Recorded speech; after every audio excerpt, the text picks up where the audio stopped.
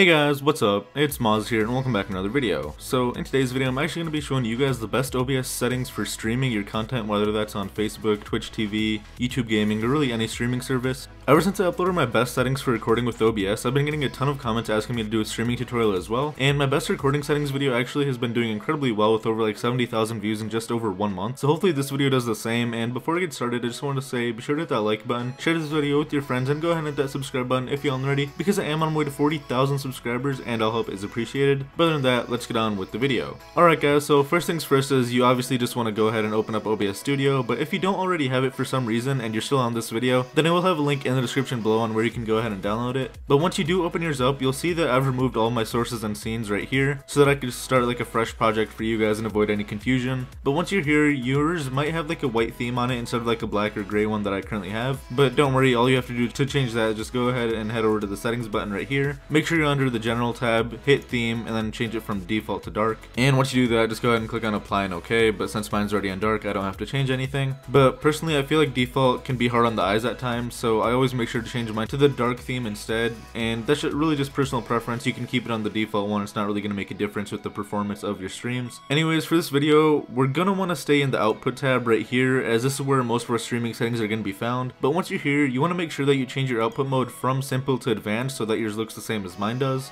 And so since we're only messing with streaming settings, we're going to want to stay in the streaming tab. But if you do want to see like the recording tab and all that good stuff, then check out my other video if you are interested, because the link will be in the description below, and that's just going to teach you the best recording settings for OBS in the year 2017. But anyways, let's get back on track. So something I really enjoy about OBS is that it allows users to record and stream in multiple audio tracks. So these are what you call audio tracks right here. And there's a pretty big chance that you're only going to need to use one of the audio tracks, but this is a really handy tool that allows you to separate your audio in case you have multiple sound outputs at once. So an example of this would maybe be like music playing in the background, a Skype call, Twitch notifications, your microphone, etc. So if you are playing music on stream but you don't want to have your music in the recording that you're going to be editing later, then you can split the audio and then mute that part of your audio in your video editing software, whether that's Vegas, Premiere Pro, or really whatever you use. It's a really handy tool, but there's a pretty big chance that you're only going to need one of these. And next up, we've got the encoder. So you might have multiple options right here, but the one that you really want to stick with is just going to be X264. And I really don't recommend trying to change that up whatsoever, but from there, make sure that you hit the checkbox on the Enforce Streaming Service encoder settings, and once you've done that, we can move on to the rescale output. And this is where I want you guys to actually really pay attention to what I have to say, and if you're streaming on Twitch, do not, and I repeat, do not stream in 1080p no matter how much someone tells you that it's going to make a difference. And I say this because it literally is going to make zero difference on Twitch, because there are certain bit rates which you have to stream in in order to keep up with the higher quality resolution. So if you're trying to stream at 1080p 60 or even 1080p 30, it's not going to make a difference whatsoever if you're going to be at the 3500 max bitrate that Twitch allows. So if you plan on streaming somewhere else like YouTube Gaming where they allow upwards of like 10,000 for your bitrate, then that's when you would want to do 1080p at 60 FPS, which would actually make a difference. Otherwise, just go ahead and check the rescale output button like I have right here, and from there just type in 1280 x 720, or you can click the drop down and pick it from here, but mine's not showing up because I have a 21 by 9 monitor, so just go ahead and type that in and you should be good to go. Anyways guys, once you're done with all that good stuff, what you want to do is make sure that your rate control is set to CBR instead of any of the other options, and from there we can move on to the custom buffer size. I already talked about the bitrate, just keep it at 3500, but lower it down if your stream is lagging, and that might have to do with like your upload speed. So I recommend having like an upload speed between like 3 to anything above 3 really, and then you can keep this, but if yours is lower, then just go ahead and lower that down. And if you're not sure what your, what your upload speed is, you can go to speedtest.net, run the test, and it will tell you your download speed, your upload speed, and your ping.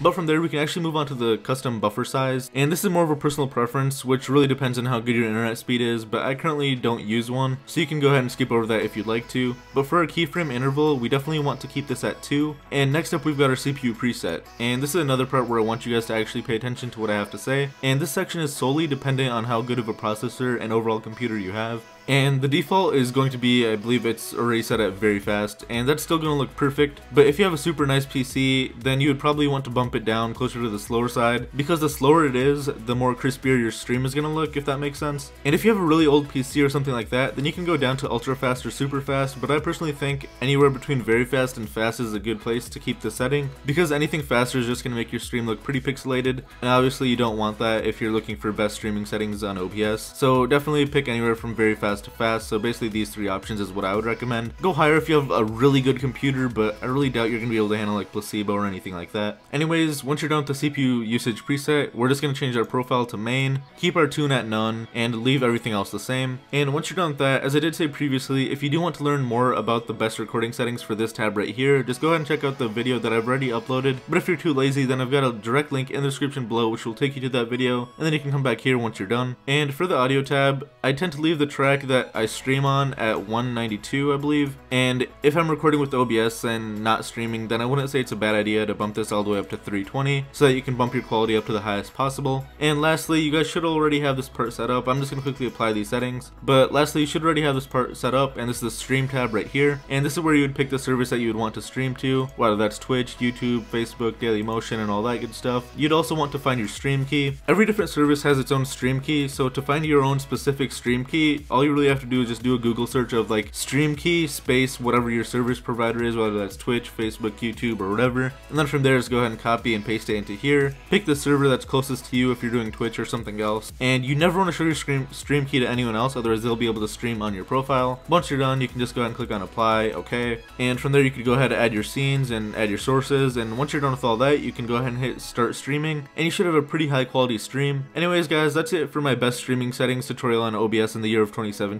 As I did say previously, a lot of these settings depend on how good of a PC you have and how good your upload speed is for your internet connection. I wouldn't say it's a bad idea to mess around with some of the settings I mentioned to find like the sweet spot for your machine. Not everyone's settings are going to match up with what I have, so that's why I'm saying it's a good idea to like tweak the settings and find what you think is best for your machine. But anyways, if you do have a good PC and a good internet connection, then the settings that I listed should be perfect for you. Anyways, I hope you guys did enjoy the video. Be sure to hit that like button share this video with your friends and go ahead and hit that subscribe button if you haven't because I am on my way to 40,000 subscribers and all help is appreciated. But other than that, I guess I'll see you guys in my next one. Peace.